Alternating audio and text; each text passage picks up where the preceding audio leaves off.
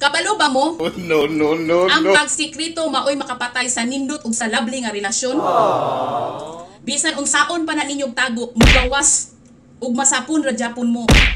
Remember, walay aso nga makumkum. Sabi mo ako iwan Hindi pa ba